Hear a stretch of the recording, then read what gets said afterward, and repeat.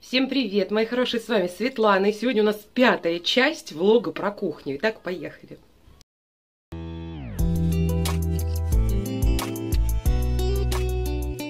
Прямо от двери и начнем. Итак, что новенького? Подсветка нравится очень всем, девчонки тоже заценили. Поставила цветок сюда, на холодильник. Девчонки говорили, цветок, да, я тоже хотела, и поставила тот бедный несчастный цветок, который постоянно жрал Макс, кот, да.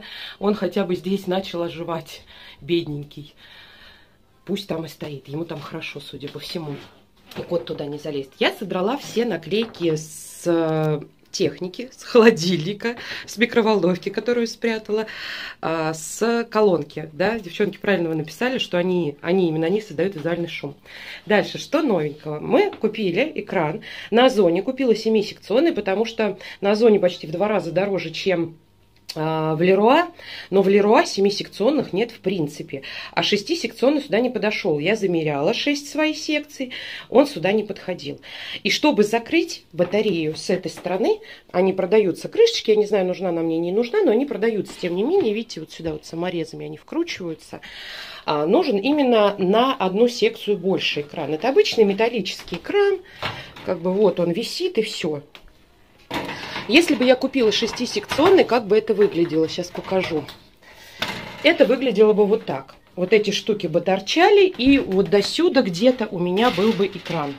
То есть минус одна секция, причем это прилично. И я еще э, почитала отзывы, где покупатели в Леруа замеряли э, экран шестисекционный, он вообще на мои шесть секций даже не подходил. То есть мне не очень нравится, когда вот так торчит, это раз. Мы не смогли бы его потом закрыть, если было бы желание, это два. Да?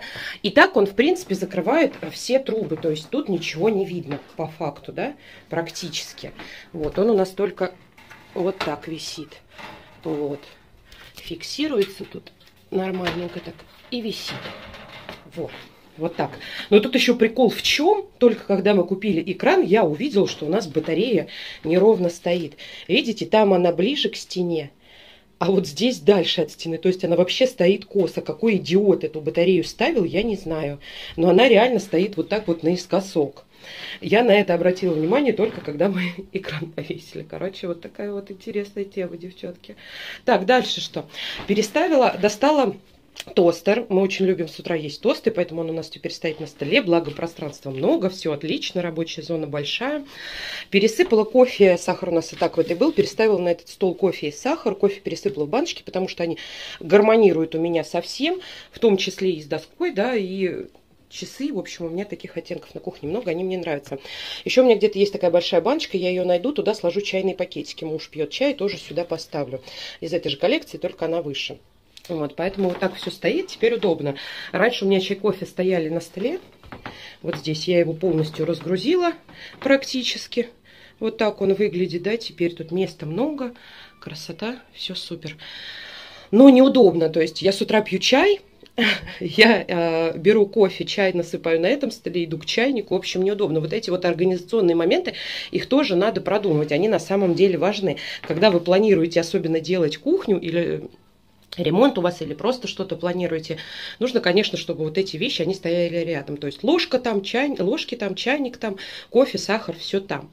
А дальше пришел а, второй рейлинг, хочется сказать, но нет, это полка. Так, это мы наверх убираем, высохло. С глаз долой сердце вон пришла а, вторая вешалка. И вот как теперь у меня все выглядит. Мне безумно нравится, выдерживает достаточно много. То есть я вот, вот что навешала, да. Терка у меня тут Фаберлик висит. В общем, все, чем я пользуюсь, все, что мне нужно, все у меня тут висит.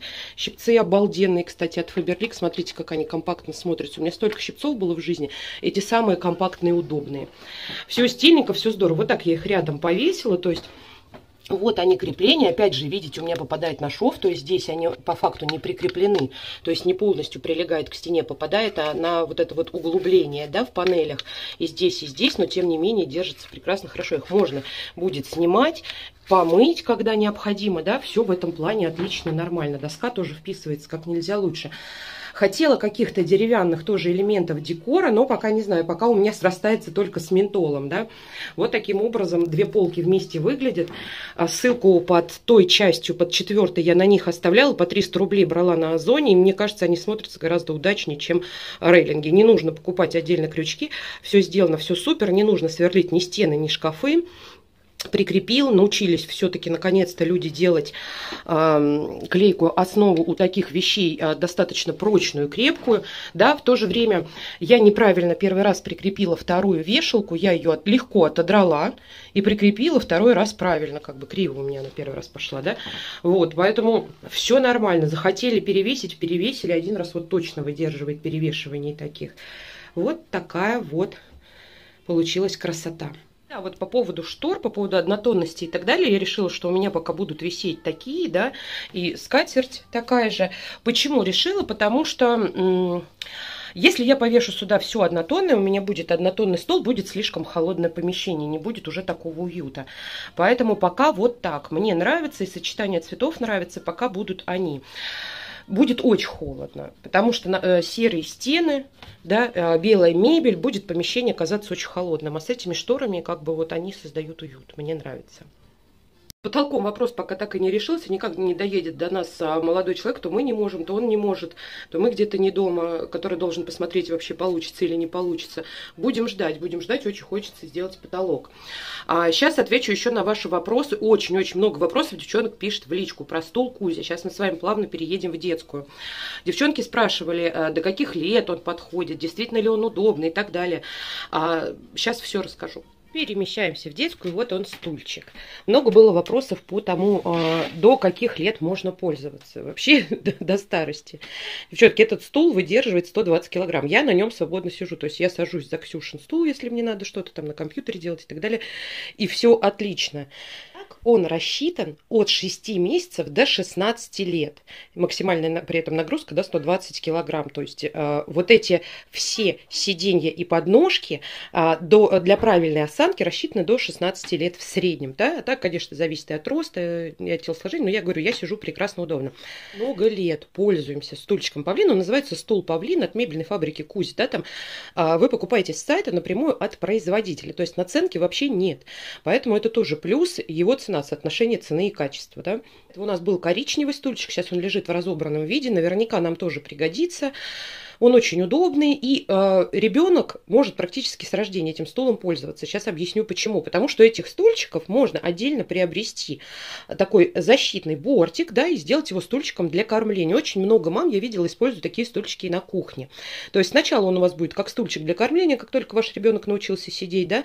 Можно купить, кстати, такой как чехольчик под стилочку, чтобы было потеплее. Есть столик отдельно на сайте продается к нему и э, защитный бортик, да, то есть у вас полноценный стул для кормления. Вы отрегулировали. Когда ваш ребенок научился залезать, он сам залезает, вы сделали подножку, как удобно ребенку, да, маленькому, вот у нас Крис уже залезает, то есть становится на подножку, и сам ребенок садится на стульчик, то есть слезает, залезает самостоятельно, и это вообще мега удобно. То есть как только ребенок научился сидеть, можно стул использовать, и он вам может прослужить вообще долгие-долгие-долгие годы. Заявленный срок службы этого стула 10 лет, коричневый у нас стоял сколько уже, года 3, ну 2 точно, ничего с ним не случилось, абсолютно ничего, они прекрасно моются, они изумительно выглядят в интерьере, мне очень нравится, потому что вот найти растущий красивый стул, мне кажется, это вообще нереально. Поэтому мы полностью качеством довольны. У нас было несколько лет, чтобы в нем убедиться. Здесь очень много положений. Вы видите, сколько дырочек здесь? Очень-очень много положений. Поэтому он действительно прослужит много-много лет, то есть а, правильное положение отрегулировать нужно обязательно. Именно от этого зависит правильность осанки, а, от этого зависит то, что у вас в будущем у ребенка не будет проблем с позвоночником. Да?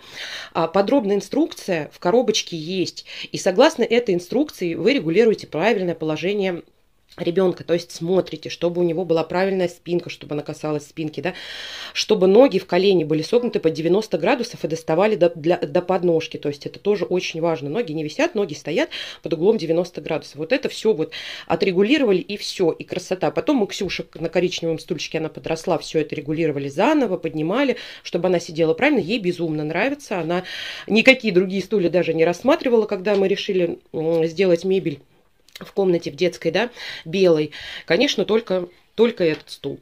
Еще несколько очень важных, на самом деле, моментов. Стульчики изготовлены по ГОСТу, имеют сертификат для использования в детских учреждениях. На самом деле это очень важно. Мне кажется, только эти стульчики имеют подобные сертификаты. Все сертификаты есть на сайте, с ними можно ознакомиться. Как бы тайн а, никаких нет. Используется высококачественная МДФ, плюс березовая фанера. Краска водоэмульсионная на всех стульчиках. Очень много расцветок, по-моему, 18 точно расцветок есть, можно подобрать под любой интерьер.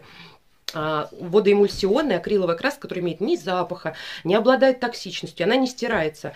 А в чем мы, собственно, убедились на примере коричневого стула. То есть она долговечная, действительно, с ней ничего не происходит. Стульчик очень крепкий, он стоит твердо на ногах, поэтому тоже никаких нареканий. Даже использовать его как стремянку очень легко. У нас Крис любит залезать, она легко залезает сюда, а потом забирается сюда и танцует наверху. Осуществляется в любой город России. Очень много способов доставки. Выбирайте для себя удобный, поэтому с этим тоже никаких нареканий нет. И еще производитель вкладывает подарочки, что тоже очень приятно. Вот я сижу на этом стульчике, мне на самом деле безумно удобно. Мне, человеку с больной спиной, мне на нем очень-очень удобно. Надеюсь, на все ваши вопросы ответила. Если они все-таки еще остались, обязательно задавайте. Буду отвечать. А, все вам рассказала. Ссылку на стульчик на магазин оставляю. Проходите, она будет прям в самом верху. Теперь еще по кухне. Многие девчонки писали, что панели неудобно мыть. А многие писали, что удобно. Я сейчас вам расскажу свою точку зрения. А, возле плиты, говорили, будет пачкаться. Я еще подумывала, какой-то экран или защитное стекло. Возле плиты у меня вообще не пачкается. Потому что я на этих двух комфорках, которые ближе к стене, не готовлю практически. У меня основные вот эти вот две. То есть на них я и готовлю. У меня туда, наверное, ничего не долетает. Но, в общем, у меня там грязь пока ни разу не было. А вот возле раковины бывает. Особенно, когда муж рыбу почистит или что-то такое происходит, да.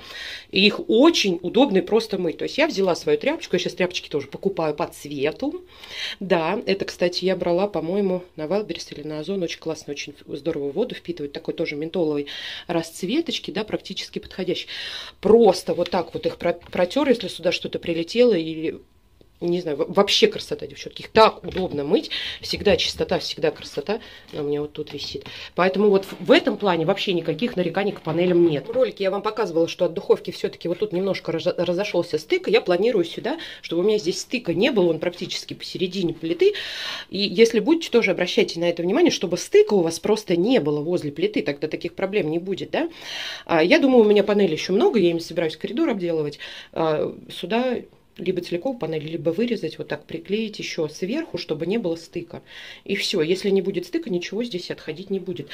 А, продумывайте по этому момент вот этот вот, конечно, смотря там откуда будете начинать, но чтобы возле плиты желательно не было, чтобы они были вот где-то лучше по бокам, тогда ничего у вас такого не будет. хочу сказать, что на самом деле оформление кухни, оно так важно для женщин. Вот я, например, сейчас провожу здесь гораздо больше времени потому что мне все нравится. Она сделана мной, она сделана с душой, а, она сделана так, как я хочу, она декорируется так, как я хочу. Мне безумно нравится. Я здесь очень много времени провожу, мне здесь нравится убираться, я лишний раз пойду посуду помою, а, лишний раз сюда зайду, здесь посижу. Я прям очень довольна, мне здесь комфортно, я здесь душой отдыхаю. Теперь у нас много места, да, стульчик для кормления мы убрали отсюда, можно даже потанцевать, есть место. Кстати, некоторые девчонки писали поставить холодильник вот сюда. Сейчас покажу. Ставить холодильник вот сюда. Он у нас здесь стоял, когда мы только переехали. Вот здесь, на этом самом месте. И мы порвали линолеум. Надо какую-нибудь заплатку, кстати, придумать. А, он стоял здесь и занимал очень много места, несмотря на то, что у нас холодильник достаточно маленький. Достаточно маленький, да, и узкий. Он занимает так очень много места. Они в хрущевках делают э, углом, то есть вот так и вот так. И холодильник ставят там либо к окну, либо вот здесь, и вот здесь еще тоже рабочую поверхность делают и так далее. А, а стол а, передвигают туда к окну. И получается, вот здесь у нас место побольше, да, но его совсем нет вот здесь. Меня это не устраивает на самом деле. Я а, рассматриваю этот, этот э, вариант, и холодильник у нас здесь стоял. Ну, это прям заходишь, и вот он холодильник. Представляете, он вот так вот сколько места будет занимать. То есть вот так Это очень много, поэтому э, вариант, который у меня сейчас, мне кажется, экономит гораздо больше места. Стол у нас большой, мы вчетвером за ним прекрасно садимся. В этом плане нареканий никаких нет, и место есть, как бы мы не на выходе, все. И тут холодильник стоит компактно, то есть вдоль двух стен все расставлено, и она получается такой как бы длинный, и места много. Я говорю, даже есть где потанцевать, если что. Поэтому такой вариант нет, я пока не рассматриваю. Меня полностью устраивает, что холодильник стоит здесь. Девчонки писали, вот заходишь, прям холодильник. Ну и хорошо, что прям холодильник. А если что в этом плохого? Беленький холодильник с цветочком наверху, все как бы красиво. А если заходишь, и вот тут у тебя стена, которую надо обойти, чтобы попасть там к раковине или еще что-то. Но мне кажется, это вообще неудобно, поэтому вот для хрущевок я именно такой вариант рассматриваю, потому что когда заходишь, вот тут бух и холодильник сбоку, нет, я так не хочу. На этом все, мои хорошие. Надеюсь, вам было полезно и интересно. Ссылку на стульчик оставляю под видео. Если какие-то вопросы есть, обязательно задавайте. Всех люблю, целую. Всем пока-пока.